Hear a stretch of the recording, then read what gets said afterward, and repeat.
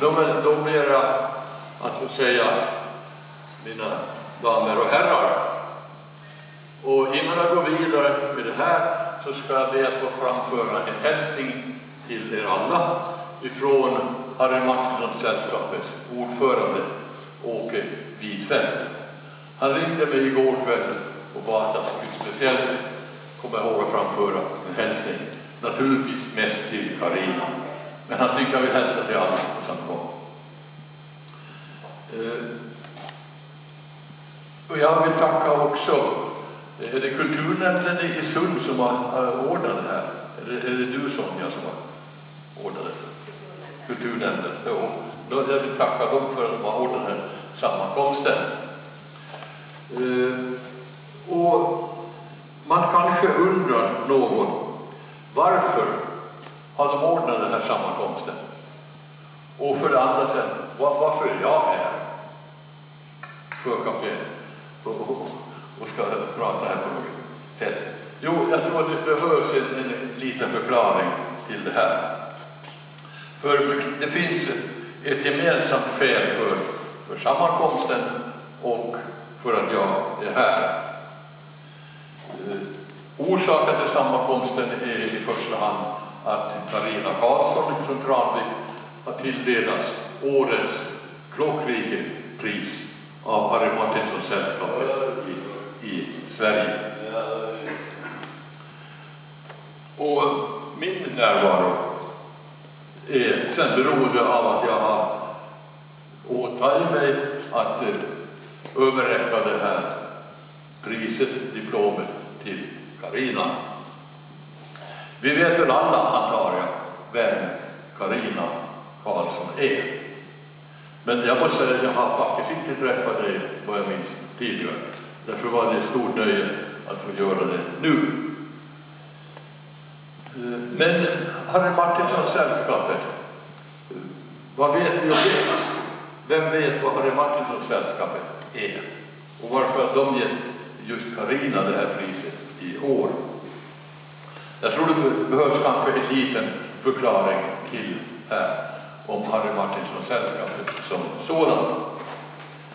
Vi vet ju det att eh, det brukar bildas litterära sällskap ibland för att hedra eh, berömda och kända författare, för att sprida kunskap om dem och väcka intresse för författarna och deras arbete. Och Harry Martinsson, som det här ligger till grund för alltihopa, han var en stor författare, en mycket stor författare i Sverige. Och därför fanns det alla skäl att bilda ett Harry Martinsson-sällskap för att, att hedra honom. Sällskapet bildades i maj 1984. Men vem är då Harry Martinsson? Vem var han? Där behövs det nog säkert en liten bakgrund också. Och det ska finnas väldigt mycket, väldigt, väldigt mycket att berätta om Harry Martinsson. Men det har vi inte möjligheter till. Och jag ska i det här sammanhanget också avstå från, helt och hållet avstå från att eh, göra några bedömningar om hans litterära verksamhet så i stort sett. Eh, Harry Martinsson föddes 1904 i ett mycket fattigt hem i Jämshög kommun i Blekinge. Det ligger nära Karlshamn.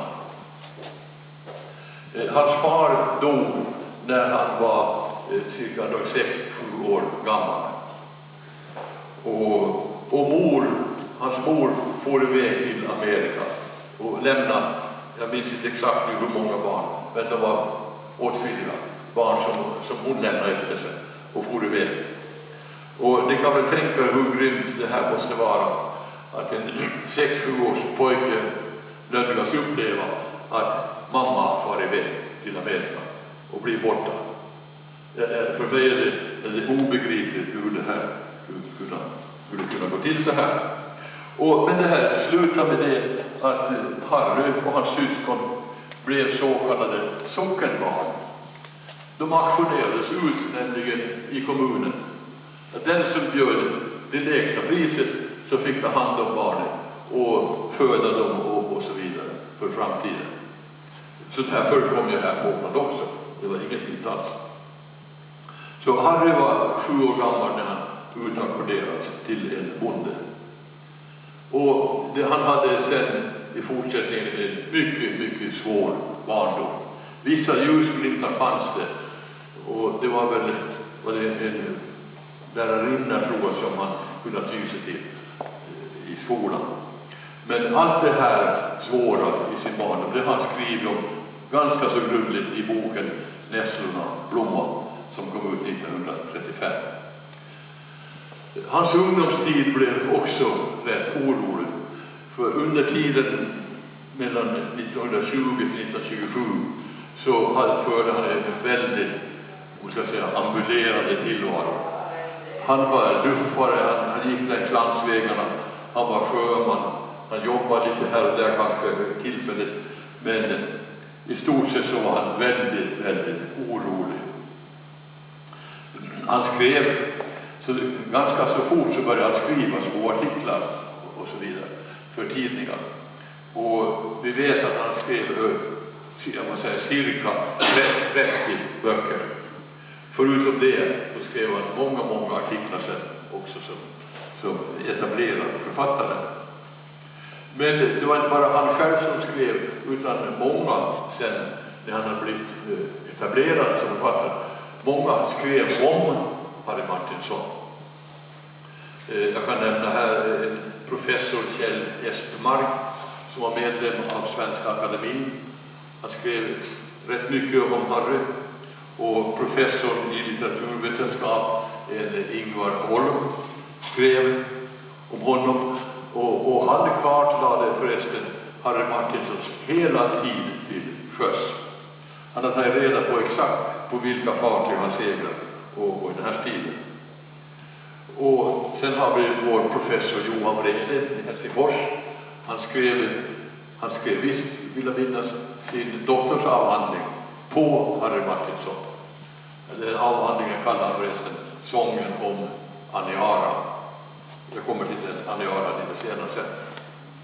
Eh, Harry Martinsson var 16 år när han for till sjöss. Och i augusti 1920 mönstrade han på sitt första fartyg en motorskoner som hette Willy. Eh, I maj 1927 då mönstrade han av sitt sista fartyg.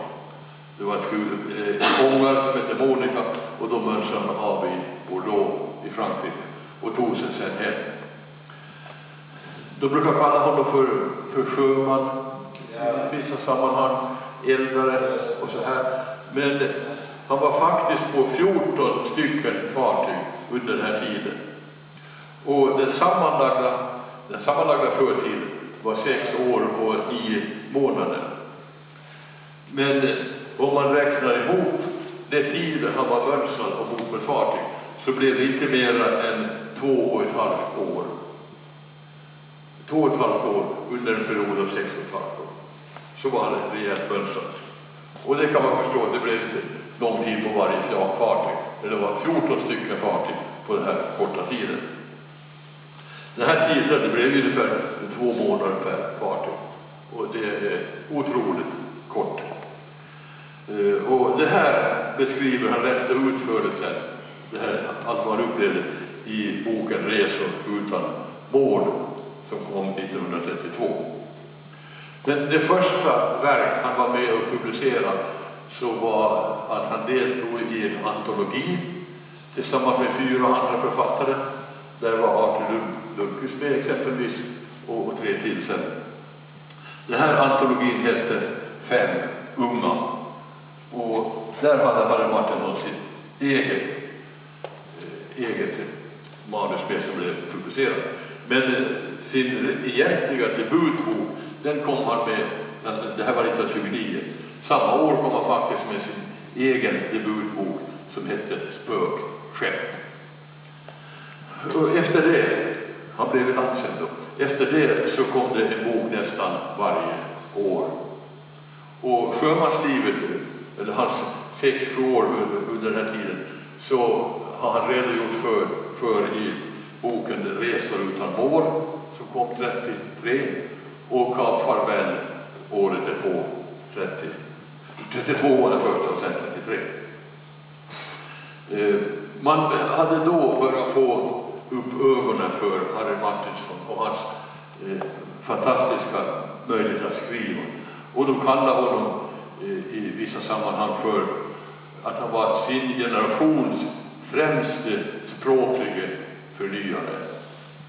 Han hade en otrolig förmåga att, att nyskapa språket som han använde, både ja, närmast i dikter, kan man, kan man säga. Och det var någon som här frågade efter Vägen till Klockriket. Den kom 1948. Och, och, det var väl där som man riktigt, riktigt på allvar slog igenom. För eh, året därpå, 1949, blev han ledamot av Svenska Akademin. Och det vet väl att man blir inte medlem där om man inte har en rejäl bakgrund bakom sig. Eh, 1953 kom sen eh, en diktsamling som man kallar för Cicada. Och i den ingår någonting som de kallar för den episka sviten, sången om Doris och Mima.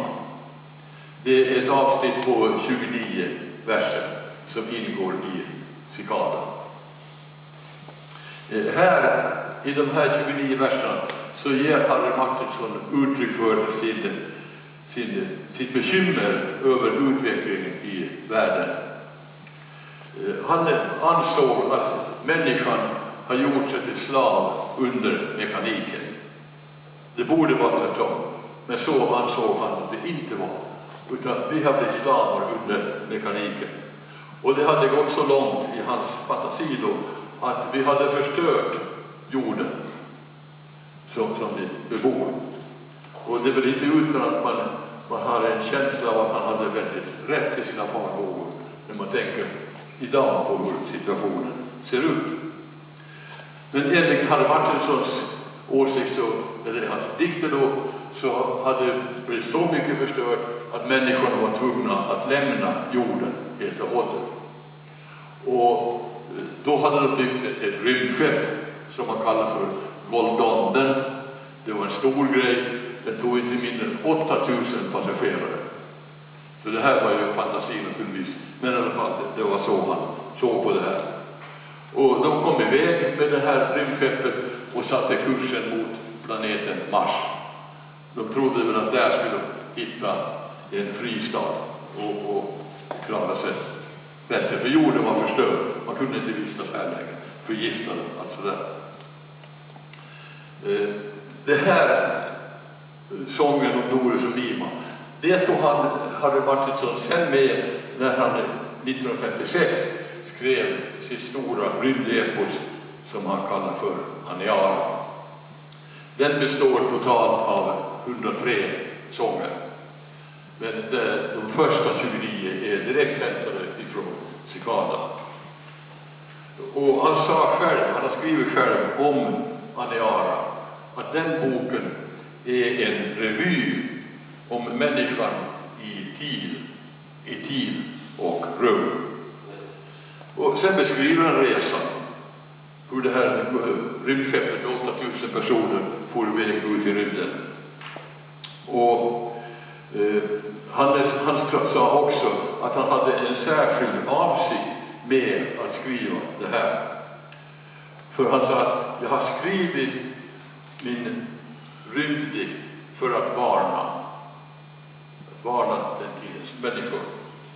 Och han fortsatte att diktverket är en varning till mänskligheten att inte leka för vårdslöst med världsalltets krafter och hemligheter.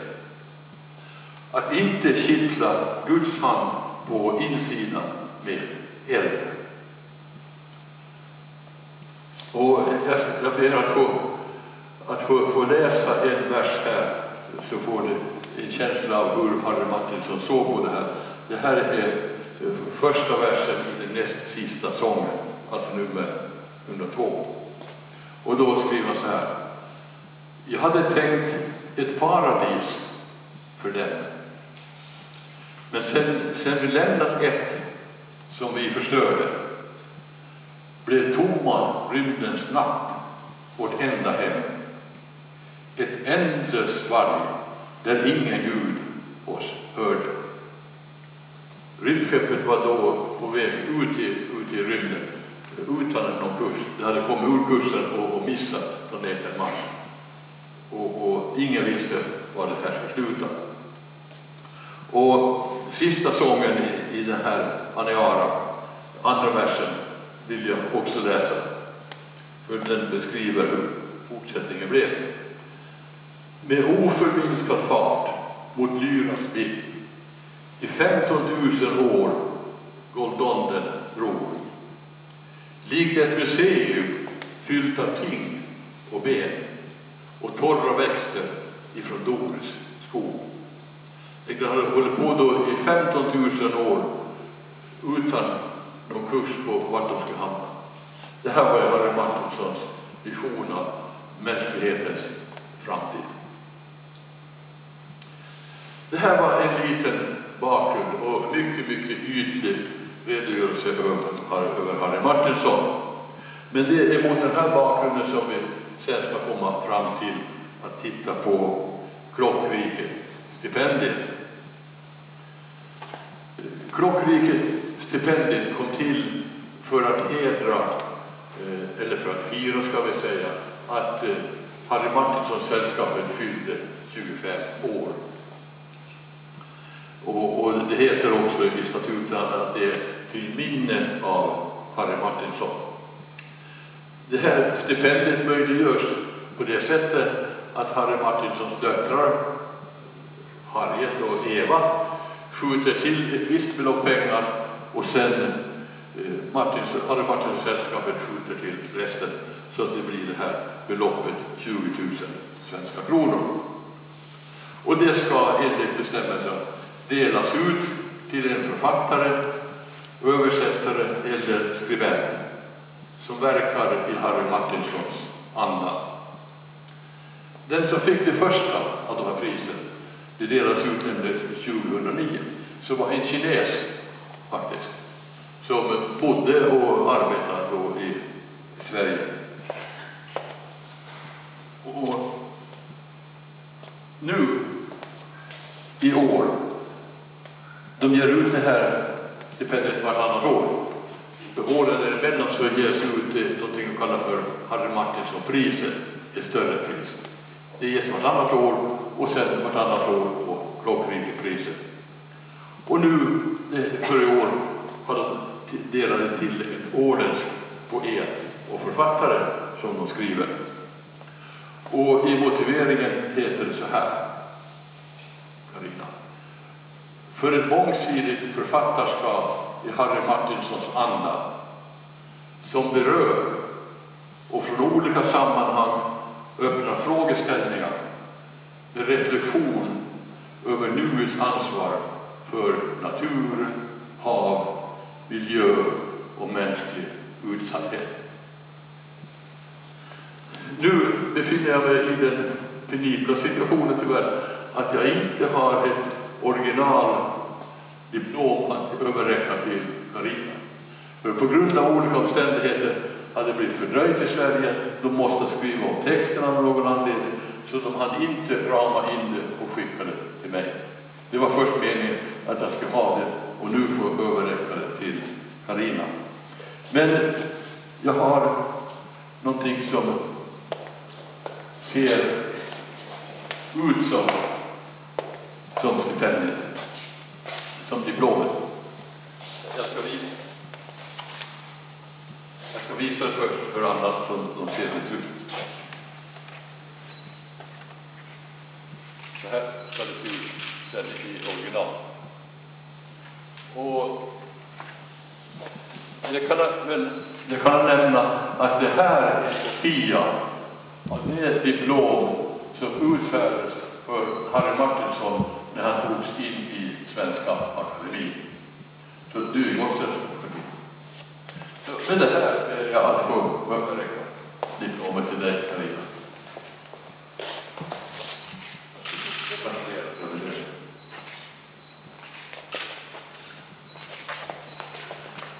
Gratulerar.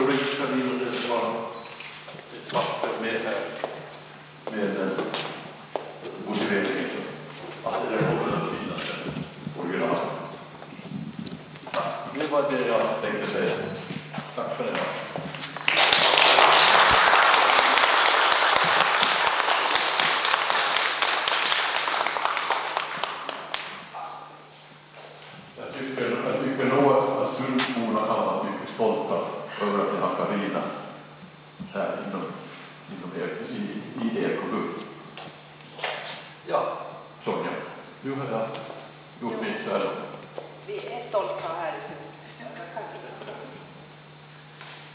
Men, Ja. Nu fortsätter vi.